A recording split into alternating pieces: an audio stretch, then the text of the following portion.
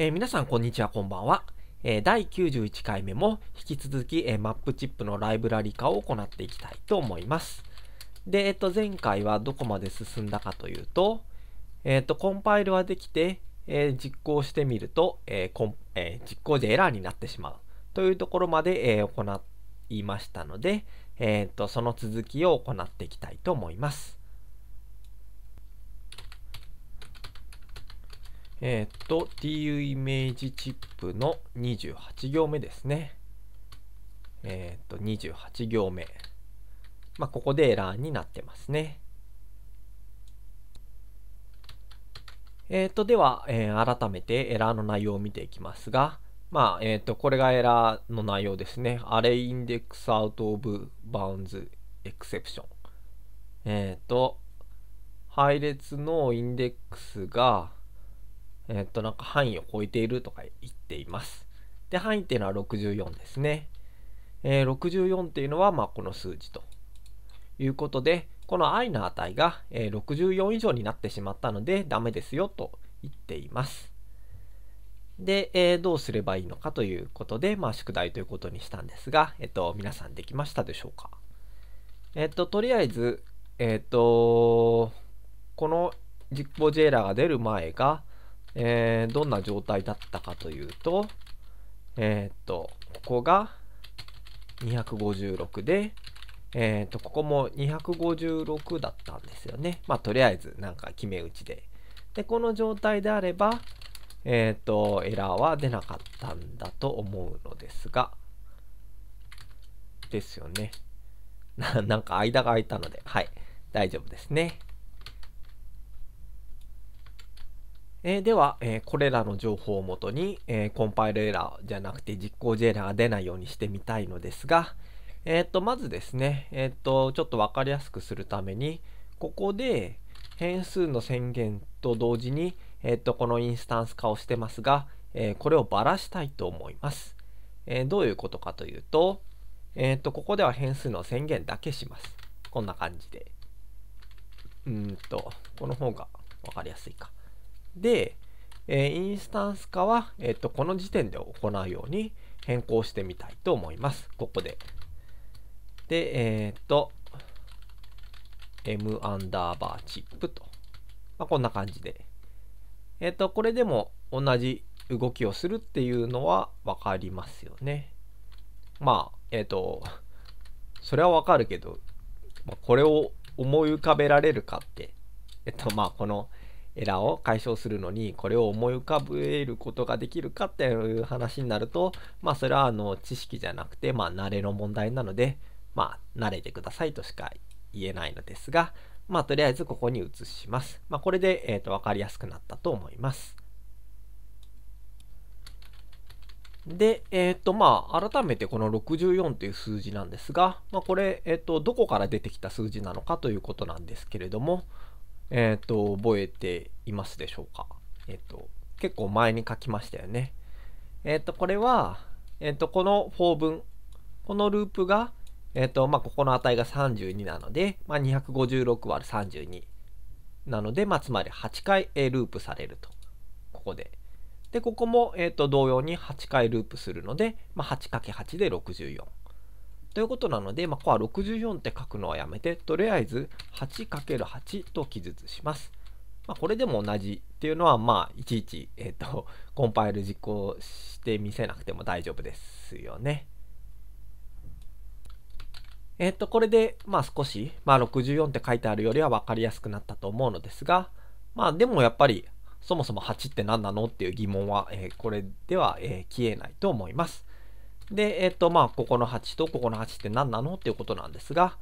えっ、と、まあ、一つの大きな数画像を、えっ、と、一定の間隔で区切った時の、えっ、と、行数と列数ですよね。なので、えっ、と、まあ、わかりやすくするために、えっ、と、そんな感じの、えっ、と、変数に代入したいと思います。行数、イント、カラム、イコール8。えっ、と、列数、うん。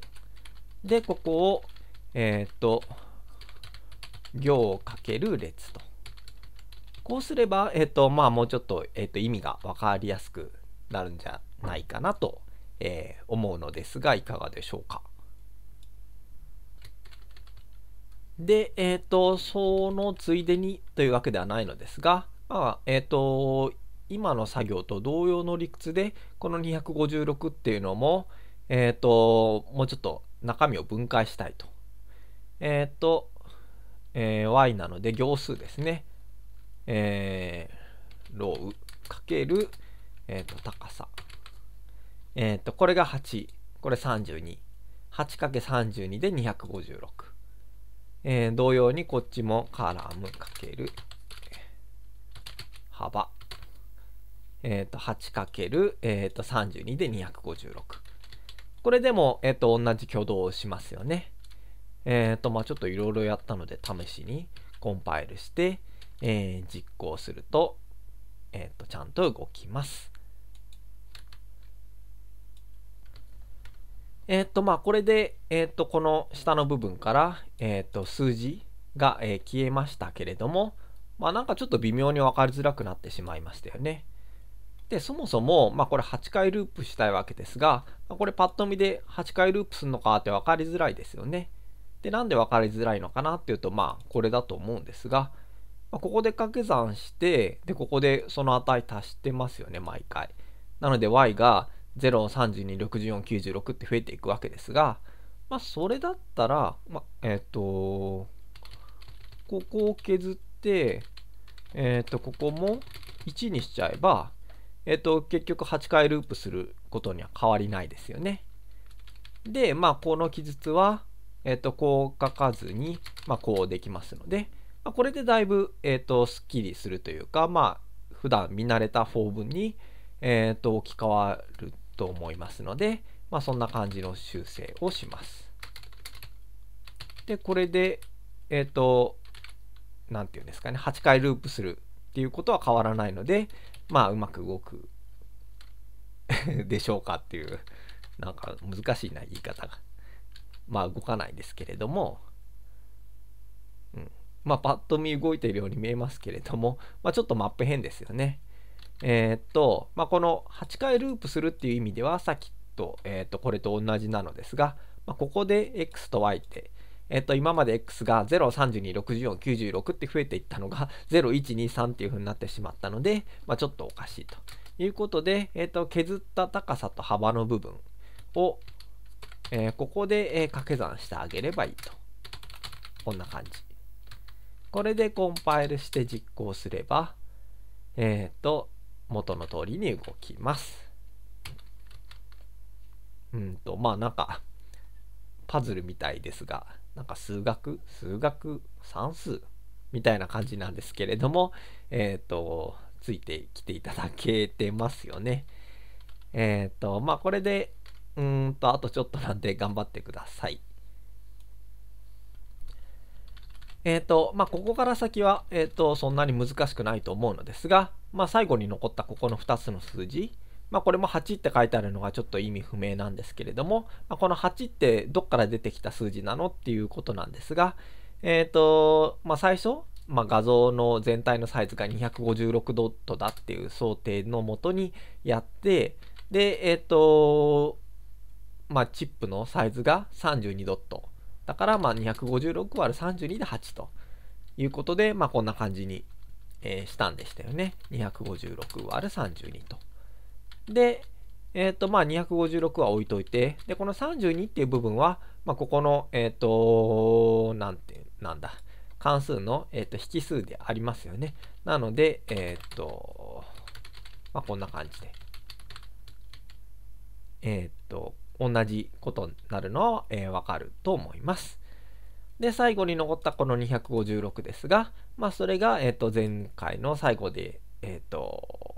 まあ、解説した、まあ、これに該当するので、えっ、と、これを、えー、コピペすれば、えー、完成ですね。うんと、こうして、